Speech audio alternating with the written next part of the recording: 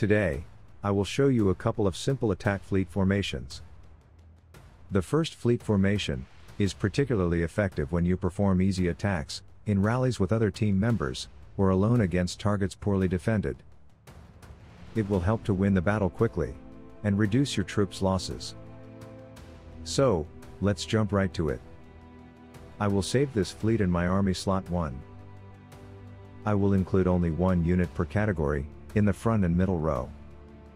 Those few units, will keep the enemy troops briefly busy, while my back row will deal damage, and end the attack quickly.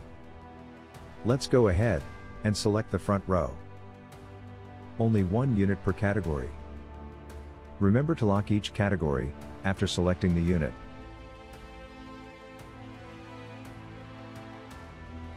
Let's jump to mid-row.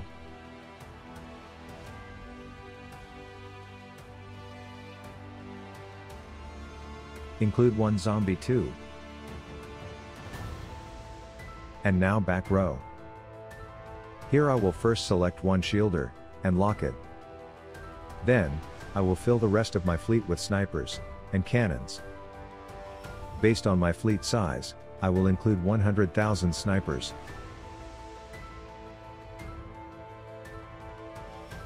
Then fill my remaining fleet allowance, with as many cannons as I can fit.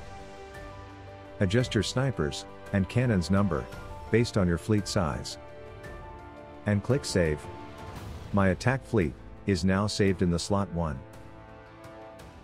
Let's try this fleet.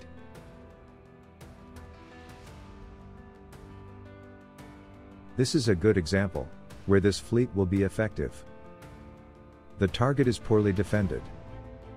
The battle with be quick. And our losses will be very low. Let's try. I will set up a rally. Select my attack fleet, and send. I will then send an invitation in the Alliance chat, for my teammates to join the rally. Let's wait and see if someone joins.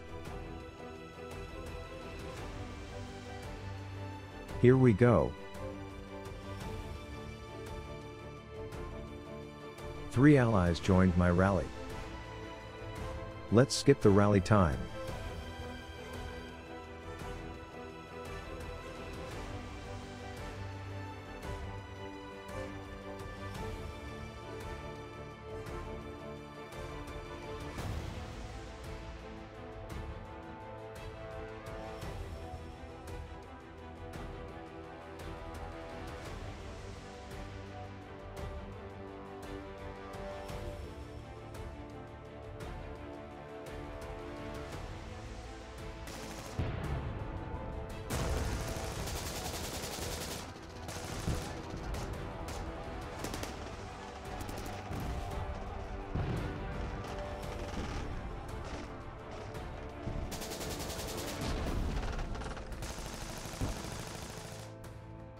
Let's check the battle report, to see my losses in the attack.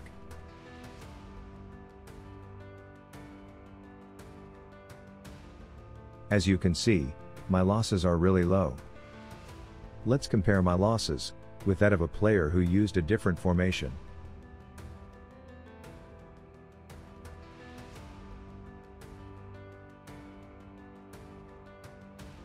As you can see, my fleet was very effective in this kind of attack.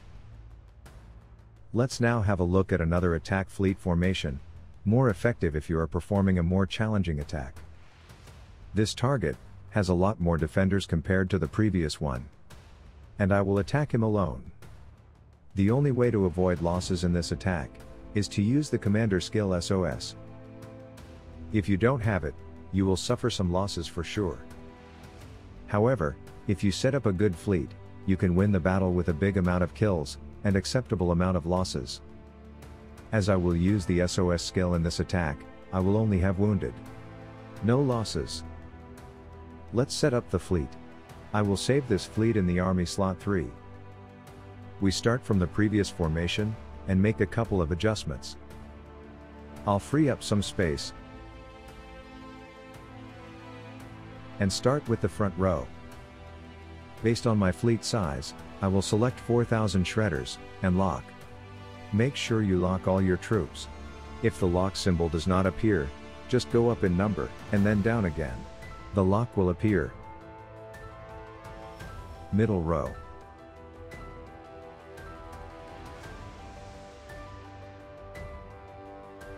And now back row. I will first select one shielder, and lock. I will use 90,000 snipers. And fill the remaining space with cannons.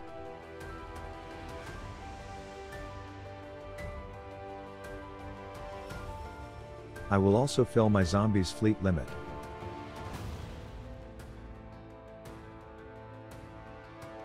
And save. Let's try this formation. I will select the fleet 3. And send.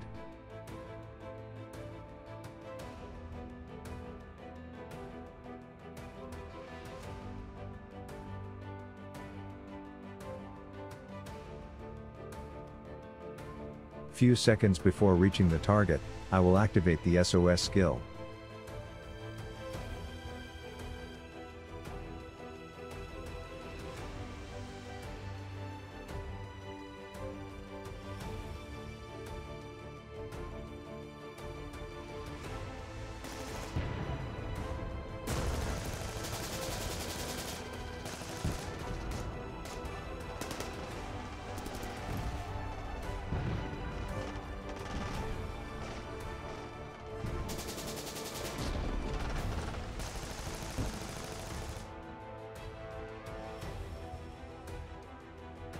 Let's have a look at the battle report.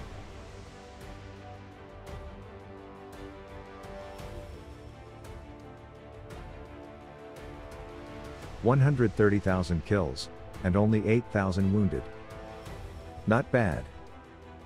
That's it for now. I hope you enjoyed the video.